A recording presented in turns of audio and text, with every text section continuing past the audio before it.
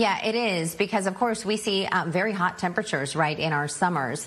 Uh, so the question remains here, and this has been a lot of chatter around COVID-19, whether or not heat and humidity affect it and slow down its progression. So joining us this morning is Dr. Jeff Langland, a professor as well as a virologist at Southwest College of Naturopathic Medicine this morning. Good morning to you, Dr. Langland. Good morning, Celeste. Uh, thank you for your time this morning. What are your thoughts on that? Um, in doing some of my research this morning, there have been some researchers who say, yes, we believe in this, that heat and humidity may slow COVID-19. And there are some other research and scientists, researchers that is, who really don't buy it just yet.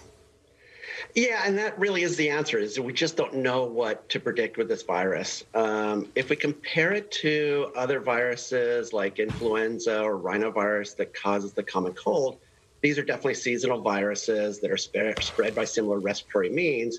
And so when we see the higher temperatures and the increase in humidity, um, the air droplets don't tend to stay in the air so long, and so we don't see quite as much spread during the summer months um, as well as we know that the, the increase in temperature as well as UV radiation tends to lead to, to direct uh, destruction of the virus. Um, and so we might predict a similar thing with this coronavirus, but again, it's a brand new virus, so we don't know. And unfortunately, there are some some evidence out there suggesting that the heat won't have a large effect. And if that's more or less if you look at um, other countries like Malaysia or Singapore or Indonesia, um, these countries mm-hmm. are actually seeing an increase in temperature right now, and yet we're still seeing an increase in the number of cases going on. And so we don't know exactly what to predict there.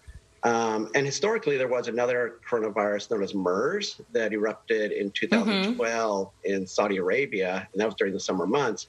And obviously, that epidemic occurred during the summer months. So, unfortunately, the short answer is we just don't know. There's two sides to the story. Uh, my personal prediction would be I think we will see the numbers decreasing a little bit, hopefully significantly due to the increase in temperature, but it's not going to be a catch all that as soon as we hit you know 80 90 100 degrees the virus is just going to disappear and and I bring up I think you bring up a good point. The jury's still out on that. What about how this virus works? Um, we have about 30 seconds left. So if you could talk, I know that's not a lot of time to kind of get scientifically into it, but um, right. if you can, in a nutshell, Reader's Digest version. How does it work? Yes, so it is spread similar to similar to the flu, where it's spread by aerosol coughing, sneezing, uh, aerosol transmission there, as well as people uh, getting it on their hands, touching surfaces like doorknobs and hand, uh, uh, faucet handles, and come in contact with the virus there. You touch that handle, then touch your face. You're going to get it into your respiratory system here.